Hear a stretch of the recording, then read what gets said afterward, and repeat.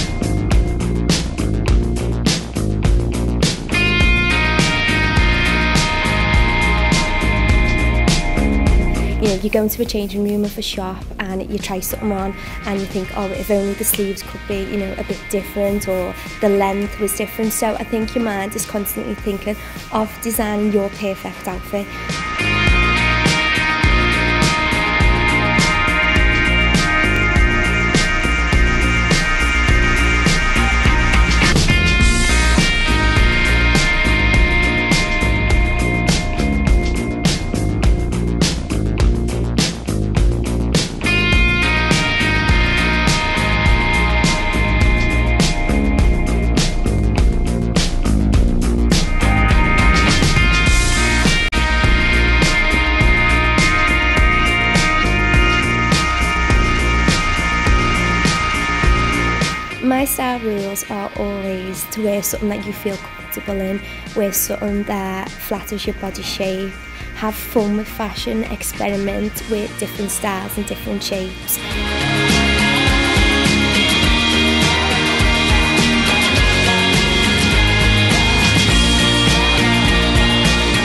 My style icons always seem to change from season to season. I think classic is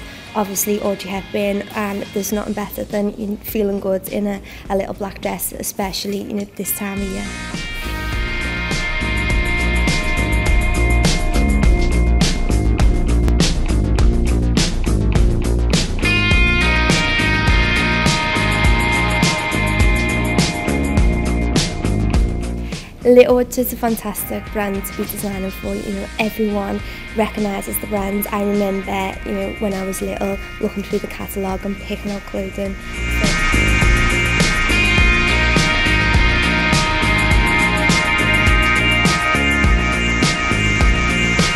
I just hope everyone enjoys it and it all goes well.